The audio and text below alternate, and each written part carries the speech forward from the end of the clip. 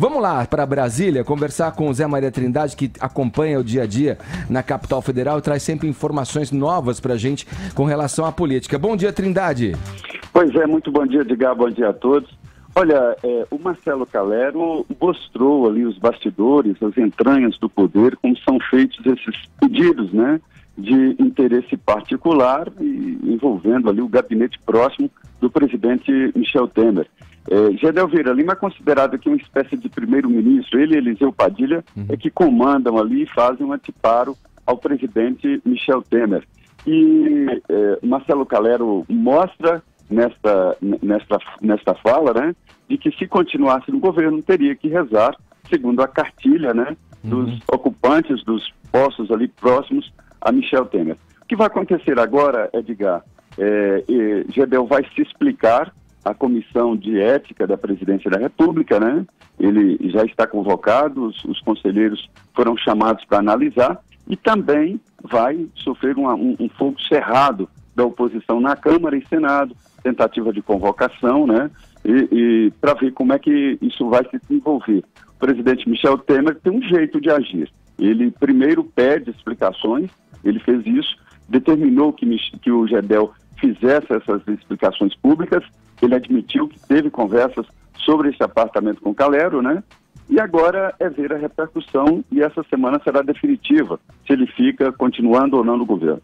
Ô Trindade, frente a, a, aos fatos que foram expostos, fica, é, fica uma situação muito complicada para o GEDEL mesmo, né? Uhum. Haja vista que é, o, o próprio Gedel tem como parceiros e sócios de negócios pessoas que defendem a construtora que está à frente dessa obra aí, que a princípio não recebeu um parecer favorável, um parecer técnico do IFAM federal. Quer dizer, são vários, são, são várias as questões que você juntando ali colocam o, o Gedel numa situação muito vulnerável, é, em que vai ficar difícil, na visão da opinião pública, o governo Michel Temer, é, enfim, transigir com uma coisa como essa, né?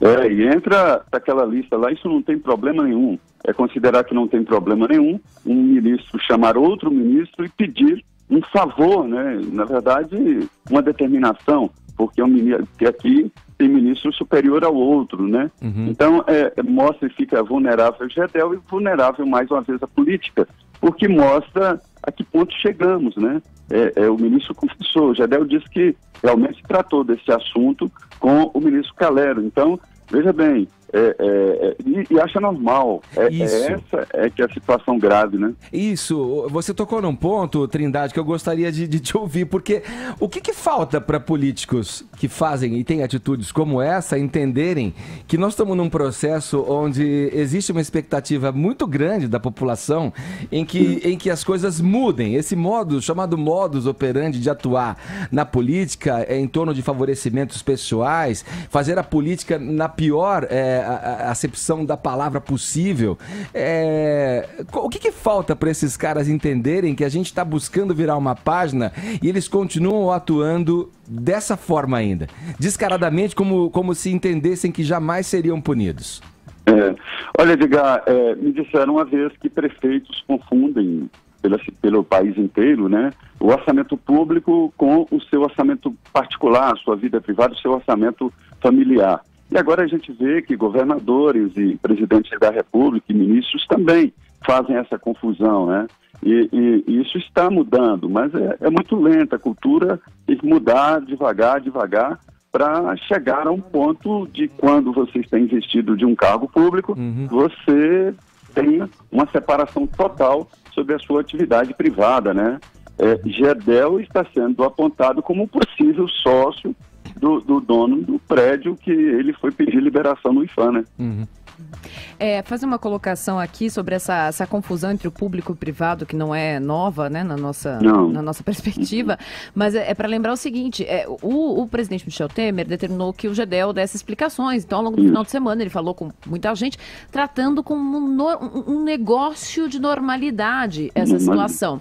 É, em 2014, o hoje chanceler José Serra deu uma, na, na, nas vésperas da eleição, fez uma, uma palestra com empresários em que ele afirmava que cartel não é crime, é uma prática empresarial.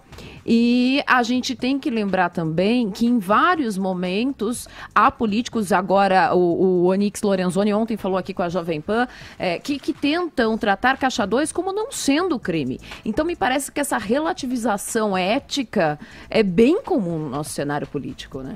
É, é um amigo meu, ele, ele gosta de citar exemplos, ele deu um exemplo de que se tratou mesmo de um assédio e, e um ministro do nível do GEDEL falando com o ministro da Cultura, né, o Marcelo Calero. Ele disse que se fosse um caso do GEDEL ter chegado para o Calero e dizer eu quero namorar com você, seria assédio. Seria assédio, porque ele é, está numa condição superior e o outro teria dificuldades de dizer não. Uhum. Então, aí é que há a divisão clara do que foi ou não pressão do que foi ou não assédio, né? Uhum. Tá certo, Trindade. Obrigado pelas tuas informações. Boa semana para você em Brasília. Qualquer coisa é só chamar, hein? Perfeito. Muito bom dia para todos. Bom dia.